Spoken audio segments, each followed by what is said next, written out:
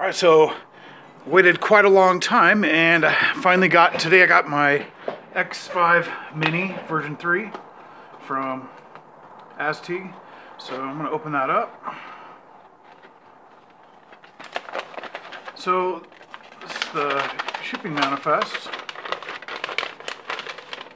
And the options that I got with mine, I'm gonna fold this back, but uh, the options I got with mine were I had the soldered connectors. I didn't think I had a choice on that.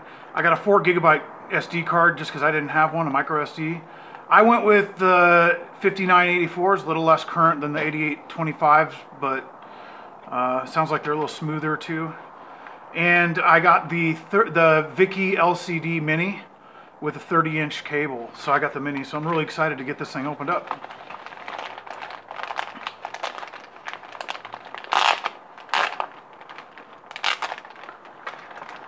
So it looks like it comes packaged a uh, in a pretty thick plastic bag.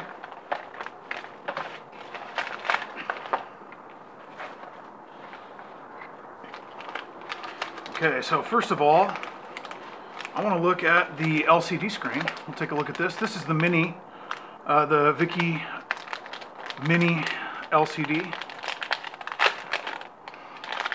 And you can see the 30 inch cable that comes with it. Unlike the one that uh, use that usually use on ramps, it's only one one ribbon cable rather than two, it appears.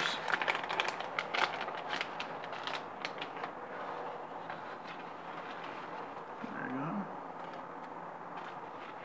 Take a look at that. I just can't wait to get this thing running. It's really small, compact SD card slot on the back of it. You can Plug that in there. Okay, moving on. Uh, not a whole lot, nothing to see here. Move on. SD card or micro SD card. All right, so here are the SD5984 stepper drivers. And uh, they've also, it looks like, it appears that they come with a set of heat sinks. Let's take a look at these. Uh, let's remove the drivers out of here.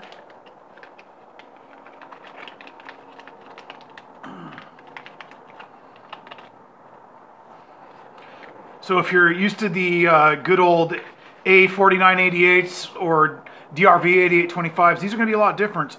They do, you can see they do have a trim pot adjustment here, but there's also extra pins on here that other stepper driver, uh, these drivers don't have. Let's see if we can find them. See these extra two pins? This actually allows, and this is one of the main reasons I bought this board, is it allows you to set that digitally. So you don't have to guess at like, oh, should I turn it a little less or more on current? These two pins allow the board itself through configuration settings. You can uh, actually control the exact current and put in a decimal number. That way you can be sure, uh, for example, on a Delta tower, a lot of times, you know, it makes sense to have all, all three of the X, Y, and Z towers going at the same current exactly. So you can you can adjust these a lot easier without any guesswork. Let's look at these uh, big heavy duty heat sinks. Much bigger than you're going to see on the 4988s stepper drivers that a lot of people using for RepRap. It's kind of an interesting configuration. Looks like it has a tape, thermal uh, tape pre-installed, ready to go. Just peel it off and stick it on. And so you're going to get four of those for one for each of your drivers. And important to note that uh, it's it's this is a this board supports four drivers, so probably not going to have um, a whole lot of luck trying to run a dual extruder off this unless you get some sort of expansion system going. All right, so let's take a look at the uh, the main show here. What we're kind of what we've what everybody wants to see probably.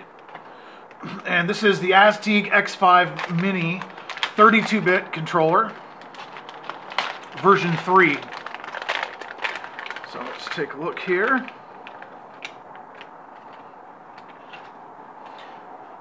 Obviously, it's going to come with some jumpers, so it looks like there might be some jumper work to do on this thing.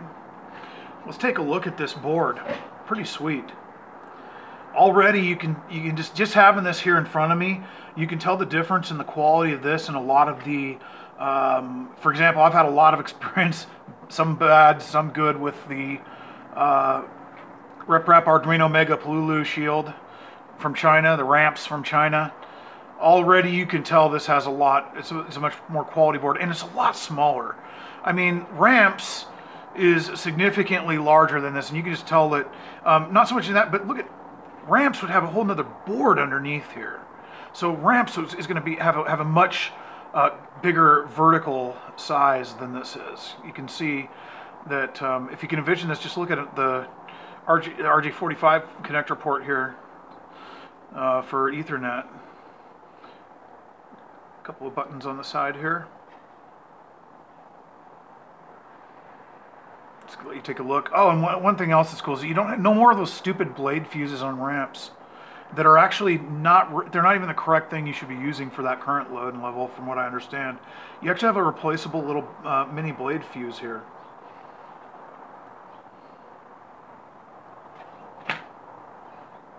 Little, uh, looks like a 20 amp fuse. So obviously this is going to run, this fuse is going to probably have to cover everything, heated bed, motors and everything. It's probably all runs to that same fuse, whereas in ramps it's actually split between a couple of different fuses. Take a look at the connectors on this end if you want to see that. You'll notice that the capacitors are rated at 35 volts. this board, from what I understand of it, uh, as far as I can tell, run can run 12 or 24 volt. Um, you wouldn't want to go much much higher than that because with these capacitors you want some headroom above the voltage you're going to run so that's why these are 35 and that's probably why they're saying hey you know with this board you want to stick with 24 volts or lower 24 or 12 probably so I'll let you have one more look at uh, everything here. Hey, I want to thank you guys for watching this video. I don't really do unboxing videos usually, but I just bought a bunch of cool stuff and I know that I would have liked to seen this before I ordered this, uh, so hopefully this helps. Comment and like it if you like it. If not, leave me some constructive criticism and uh, I'll try to make them better in the future. Uh, aside from that, man, have fun printing and uh, have, have a great day.